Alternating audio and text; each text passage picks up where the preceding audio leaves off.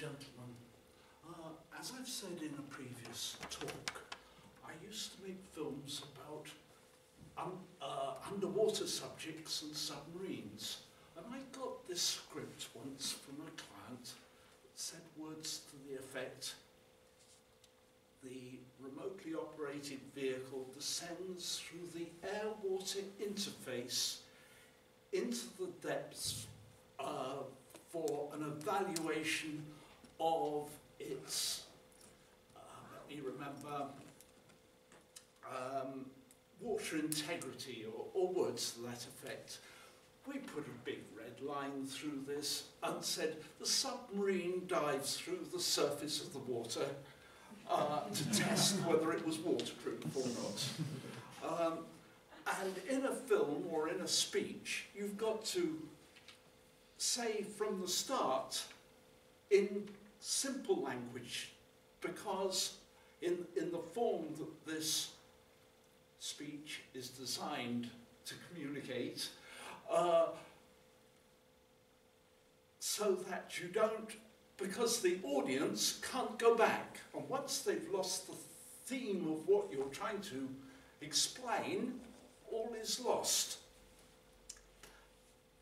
I no longer make underwater films. I'm a marine photographer and writer about sailing and sailing subjects.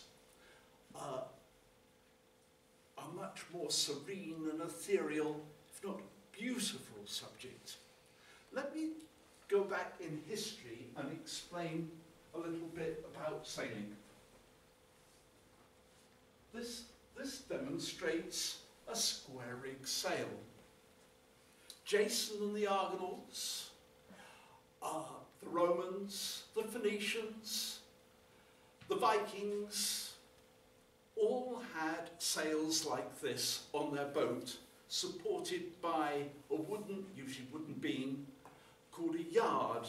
Don't ask me why it's called a yard. And the sail would be attached to the yard by the, the eponymous reef knot. I've used cable ties here, but never mind.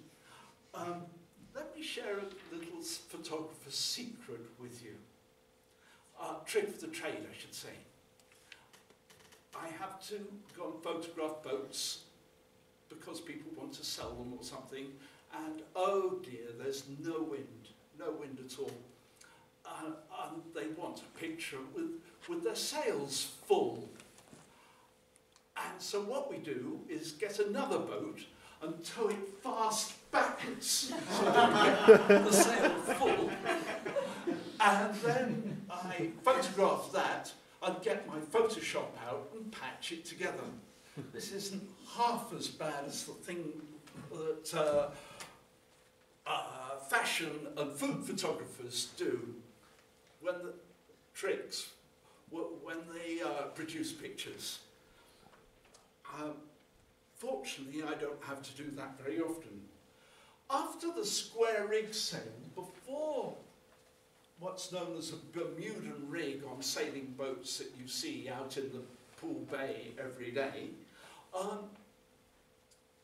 the development after many centuries was what was known as the lateen rig or Latin rig because the first people to use it in Europe at least were the Italians so it became the Latin rig and this had the great advantage that it was enabled sailors to go to, to windward, to sail towards the wind up to 45 degrees.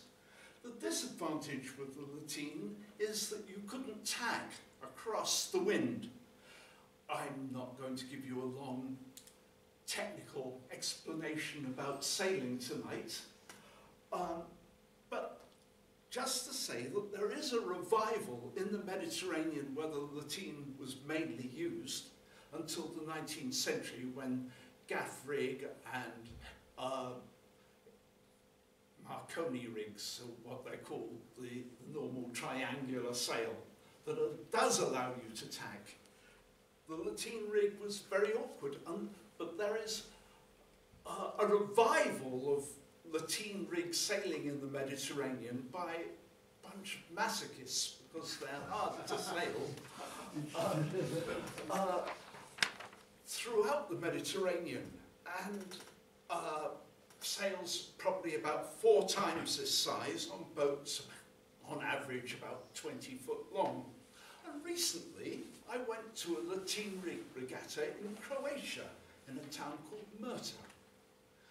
And were, it was hoped that 80 boats would turn up, a good sized fleet, but because of the strong Burak northeasterly wind, only 50 arrived, and of the 50 that started, only 25 finished, many with broken spars, broken masts, and uh, this I meant to say isn't called a yard, like the square rig, this is called the antennae, or aerial, a name that was used long before radio.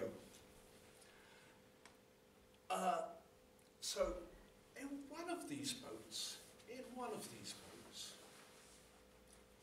three government Croatian ministers competed. Doing very well. They were leading their class of boat.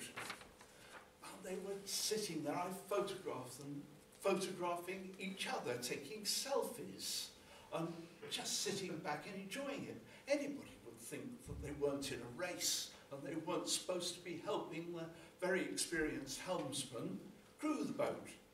And he said, we're about to go tack now on a lateen boat in Croatia, you had to get an oar out to row round from one tack to the other. Uh, but they took no notice and stayed on one side of the boat and they, they tacked round and the wind caught them, the strong northeasterly wind, and blow me, didn't they capsize and sink? So you've got three Croatian government ministers with drenched mobile phones swimming across the bay. Ladies and gentlemen, don't you wish that that had been Jeremy Corbyn hmm? and our Prime Minister? Hmm? Thank you very much.